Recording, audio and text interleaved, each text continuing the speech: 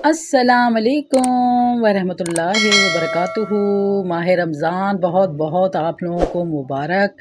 और आमद आमद है रमज़ान की और तीन दिन की मुसलसल मेहनत के बाद ये सब चीज़ें आपके लिए रेडी हो गई हैं।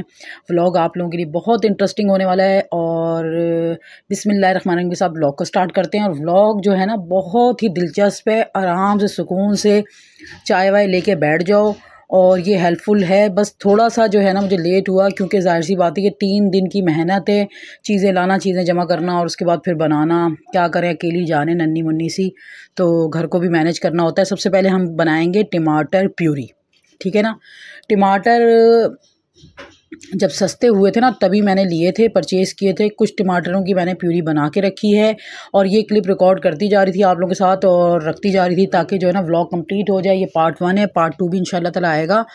और मेक एंड फ्रीज़र के जो आइटम मैं करूँगी, वो भी मैं आपके सामने रेडी करूँगी। टमाटरों को मैंने क्या किया, अच्छी तरह से धो लिया, काट लिया, उसके बाद क्या किया पेस्ट बना लिया। सिंपल पेस्ट बनाया है, ये मैंने इसको पकाया नहीं है। पास्ता सॉस जो है ना, वो भी मैं बताऊँगी, लेकिन उसको पका के बनाना है। और ये मैंने ऐसे ही टमाटरों को पेस्ट बनाया और फ्रीज़र कर दिया, ठीक है ना? ये फ्रीज़र करने के लिए मैं ट्रे रेडी कर दी है। ये हो गया टमाटरों का पेस्ट, ठीक है? उसके बाद ये है लहसन और अदरक, ठीक है ना? लहसन, अदरक को आपने क्या किया छोटे छोटे चॉप करके डाल दिया। अपने जूसर ब्लेंडर का बहुत ध्यान रखा करो, क्योंकि स्लो स्लो करके ना चलाया करो क्योंकि यार ये मशीन होती है और गर्म हो जाती है चाहे जितनी भी अच्छी क्वालिटी की हो मेरा कैनवुड का है और मैं बहुत एहतियात से यूज़ कर रही हूँ तो इसको तकरीबन नौ साल हो गए हैं शुक्र अलहमदिल्ला। नौ साल से मैं यूज़ कर रही हूँ। अच्छा इसमें मैंने पानी नहीं डाला बहुत कम पानी डाला और सारा मैंने ऑयल डाला है ठीक है ना? उसके बाद आपने इसको इस तरह से आइस क्यूब स्टे में आ, फ्रीज़र में रख देना है जमाने के लिए और ऑयल डालोगे ना आप लोग तो उसका रंग भी मेंटेन रहेगा। और टेस्ट भी बहुत अच्छा रहेगा। सही है ना? तो थोड़ा सा ये है कि ख़र्चा करो, बस थोड़ा सा ऑयल डालो और ये थोड़ा सा बच गया तो मैंने छोटी सी डिबिया में डाल दिया। उसके बाद अब हम बनाएँगे लेमन जूस लेमन इसका आप बनाओ, आप फ़िश में मैरिनेट करके रखो लेमन क्यूब डालो, कुछ भी मतलब आपकी हेल्प हो जाएगी, सही है ना? तो नींबुओं को आपने अच्छी तरह से वॉश कर लेना। वॉश करने के बाद दो टुकड़े कर लेने। दो टुकड़े करने के बाद सारा रस निकाल लेना है।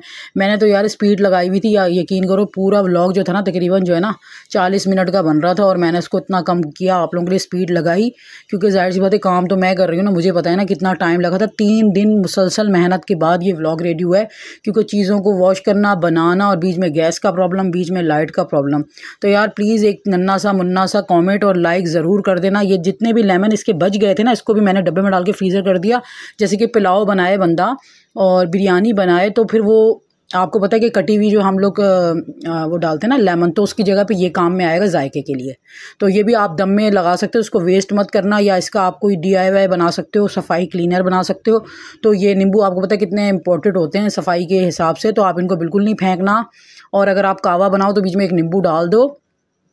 और उसके बाद ये जो है ना, एक किस्म का जो है ना फैट कटर भी होता है, आपके लिए वेट लूज़ करने के लिए बहुत अच्छा है हेल्थ के लिए तो प्लीज़ मत फेंकना। मेरे कहने पे एक दफ़ा रख लो फ्रीज़र में, उसके बाद आप इस्तेमाल करते रहना। उसके बाद ये तेज़ी सारी लगाई हुई वीडियो पर, उसके बाद जो है फिर मैंने प्याज को फ्राई करने के लिए जो है ना रखना है। ठीक है ना? तो मैंने प्याज को पहले अच्छी तरह से वॉश कर लिया, छील लिया, फिर मैंने स्लाइसर से काट लिया। ठीक है ना? स्लाइसर स्लाइसर से मैंने स्लाइस कर लिया बारीक बारीक और जो थोड़े छोटे छोटे बच्चे थे ना, वो भी मैं कुछ इसका करके दिखाती हूँ आप लोगों को पहले।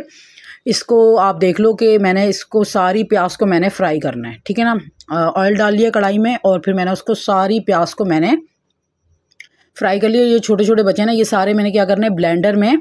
अभी मेरी प्याज फ्राई हो रही है इस टाइम ना तो ये सेकंड डे स्टार्ट हो गया था। मैंने बहुत ज़्यादा मेहनत से ये व्लॉग बनाया है और आप लोगों की बहुत हेल्प होने वाली है। अगर इस तरह से आप लोग चीज़ें बना के रख लोगे ना तो बस आप लोगों की आधी तकरीबन छुट्टी हो जाएगी इंशाल्लाह। तो ये दो तीन दिन की मेहनत है, फिर उसके बाद आराम ही आराम है। अच्छा ये जो छोटे छोटे से प्याज बचे थे, क्या किया मैंने? इसको ब्लेंडर में डाल के, पानी डाल के पीस लिया पेस्ट बना लिया। और यहाँ पे मेरी प्याज फ्राई हो गई थी तो मैंने आपको एक क्लिप भी दिखा दिया कि इस तरह से आपने प्याज फ्राई कर लेनी है। फिर आपने बिरयानी में इसको दम में लगाना चाहो तो इसमें डालो, सालन बनाना चाहो तो सालन, फिर तली हुई प्याज बहुत हेल्प करती है। तो जैसे अब आपने ऊपर से इसको दम में, जैसे कि बिरयानी में लगाना होता है, प्याज को तो ब्राउन की भी प्याज चाहिए होती है। उसके अलावा यार पुलाव में। अच्छा उसके बाद क्या करना है? जनाब, आपने लेना है ऑयल ठीक है? ऑयल लेना है और उसके बाद ये जो पेस्ट मैंने बताया बना, बताया था, बोल रही हूँ, बनाया था जो मैंने, जो छोटी छोटी प्याज बचे हुए थे, उनको भी मैंने वेस्ट नहीं किया, उसमें ऑयल में मैंने इसको अच्छी तरह से पका के रख लेना। ये हमारा अच्छी तरह से जब हमारा पक जाए ऑयल इसका ऊपर आ जाए तो ये हमारा टमा इसका प्याज का पेस्ट बन गया। अब ये प्याज का पेस्ट आप बिरयानी में डालो, किसी वाइट कढ़ाई में डालो और सालन में डालो तो आपका रेडी हो गया। ठीक है ना? अब यहाँ पर मैं इमली का पल्प निकाल के रख रही हूँ और इमली के पल्प से आप बहुत सारे काम कर सकते हो, बहुत आपकी हेल्प हो जाएगी। आपने एक दफ़ा ये गर्म पानी किया मिनरल वाटर बॉयलिंग वाटर में आपने इमली डाली, पूरा पैकेट डाल दिया था मैंने तो उसको आपने फिर छोड़ देना। ओवरनाइट आप इसको छोड़ दो, मैंने फ्रिज में रख दिया था, मैंने बाहर नहीं रखा था, ताकि बिल्कुल भी टेस्ट ना बदले। ओवरनाइट के लिए अब ये फ्रिज में पड़ा हुआ है इमली का पेस्ट आगे क्या करना है वो मैं आपको बताऊँगी। स्ट्रॉबेरीज मैंने मंगवा ली थी। स्ट्रॉबेरीज को सेव करने का इतना डिफरेंट तरीका कि इससे पहले किसी ने यूट्यूब में ये चीज़ बताई नहीं होगी। मैंने गोरों को देखा, अंग्रेज़ों को देखा तो मुझे बहुत अच्छा लगा था ये उनका तरीका। तो फिर मैंने वो क्लिप जो है ना अपने लिए सेव करके रखी और काफ़ी टाइम तक फिर मैंने इसको तजुर्बा करती रही। दो तीन दफ़ा मैंने बनाया जब ये कामयाब हुआ। तो अब मैं आप लोगों से शेयर कर रही हूँ, आपने क्या करना स्ट्रॉबेरीज़ को आपने छोटा छोटा सारा का सारा स्ट्रॉबेरीज़ को आपने कट कर लेना आप बड़ा चाहते हो तो दो टुकड़े कर लेना, छोटा चाहते हो तो छोटा कर लेना। मैंने छोटे छोटे की उस मुरबे की तरह काट लिए थे और आपने ले लिया एक कांच का जार। यार, इसके लिए आपने कांच का ही जार लेना, ज़रा एहतियात से ज़रा सुकून से आप लोग सुनो, ठीक है? उसके बाद आपने क्या करना है, इसमें आपने डाल देना है शुगर, ठीक है? शुगर डाल देना, आपने शुगर डाल दिया और इसको आपने छोड़ देना है फ्रिज में। इसको रख दो फ्रिज में, आहिस्ता आहिस्ता, खुद ब खुद जो है ना, इसका पानी सीरप बनता जाएगा और ये नीचे बैठता जाएगा और ऊपर तैर तैर के सीरप आ जाएगा और नीचे स्ट्रॉबेरीज रह जाएँगी, ठीक है ना?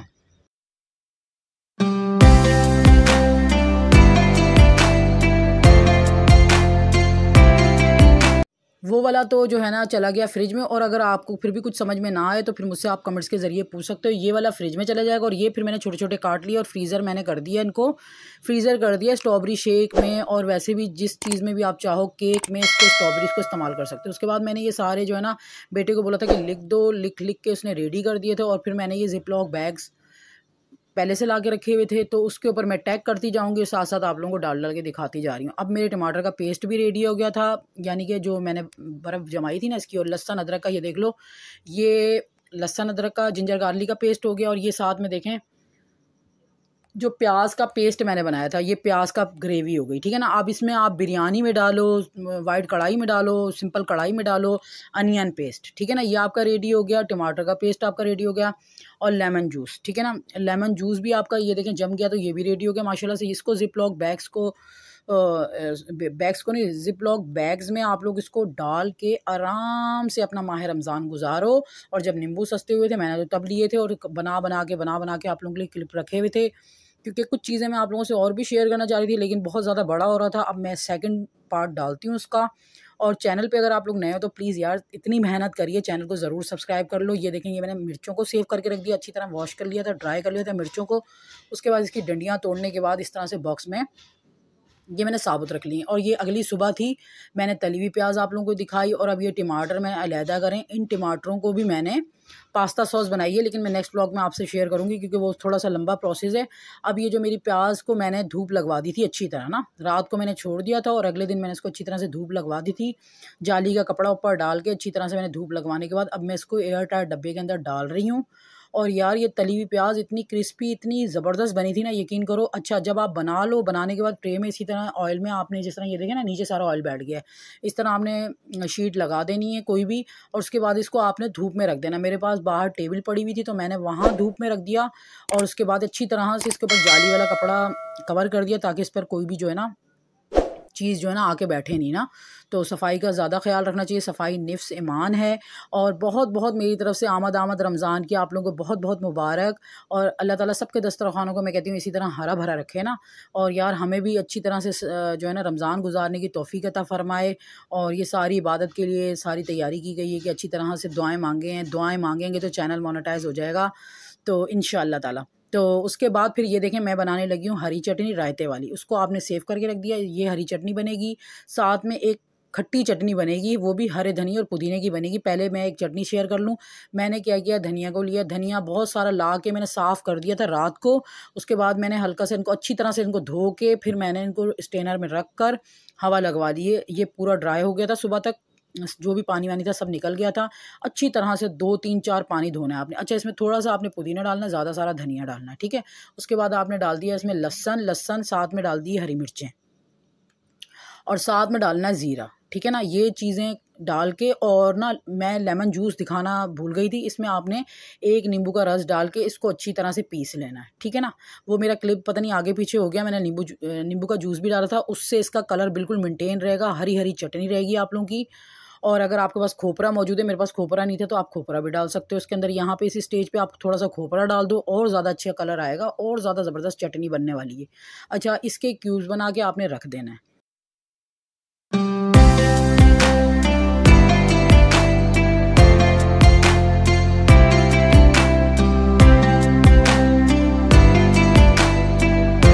थोड़ा थोड़ा करके डाल के अच्छी तरह से आपने इसको पीस लेना और चटनी बना लेनी है।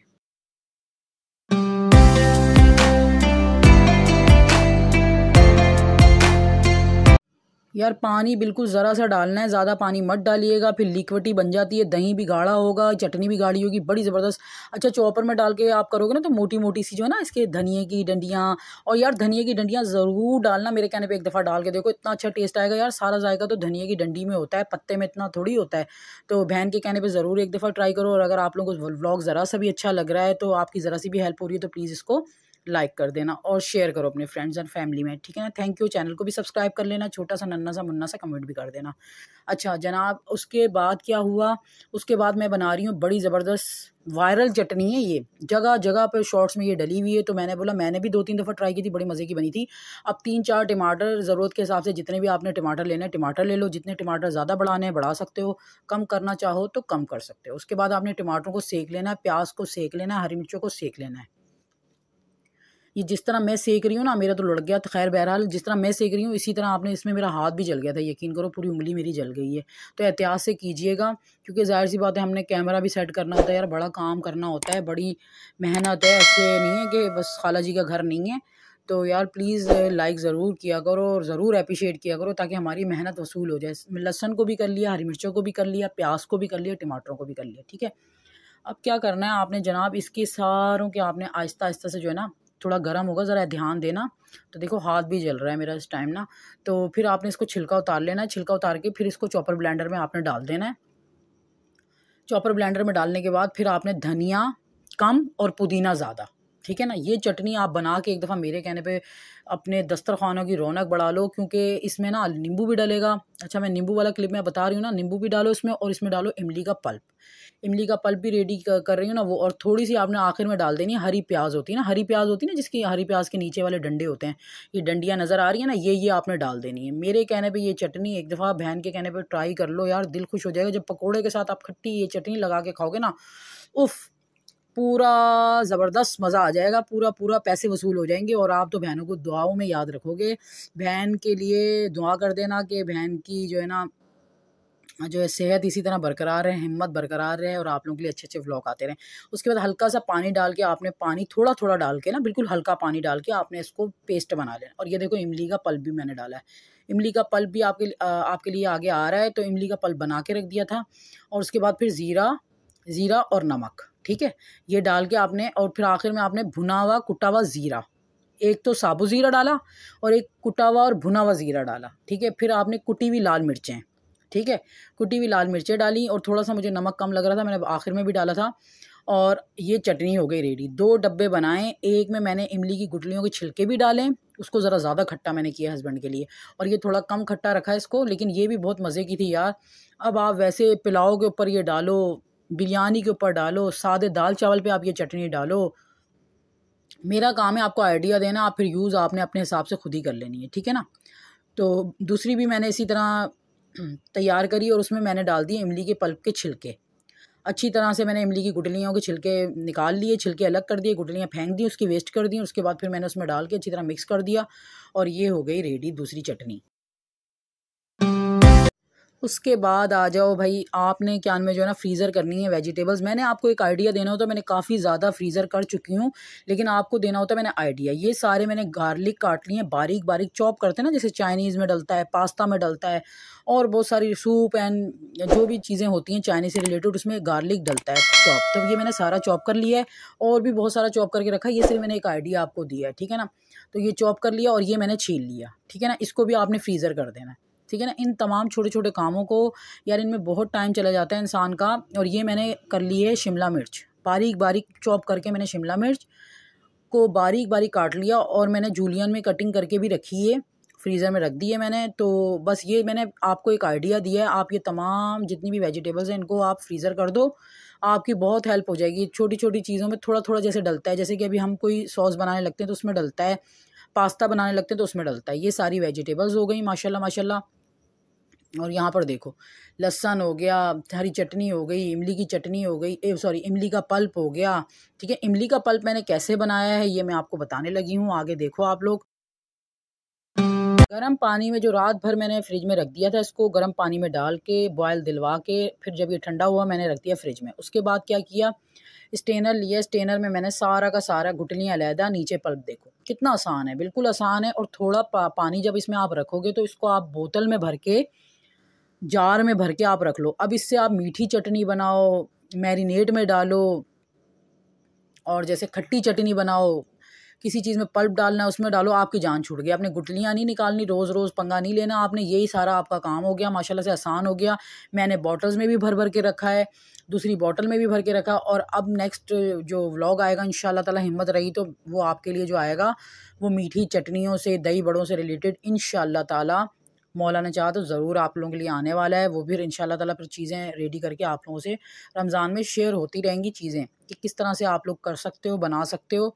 अच्छा हरी चटनी को भी मैंने इस क्यूब्स में डाल डाल के ये देखें, ये फ्रीज़र कर दिया। सही है ना? अब टमाटरों का पेस्ट आ गया। ये देखें तमाम चीज़ों का पेस्ट आ गए स्ट्रॉबेरी फ्रीज़र हुई हुई है आपके सामने। सब कुछ यार आपके सामने। ये आलू बुखारा मैंने फ्रीज़र करा हुआ है पेस्ट बनाकर। ये टमाटर हो गए, ये नींबू का जूस हो गया, ये अदरक लहसन का पेस्ट हो गया। धनिया काट के बारीक।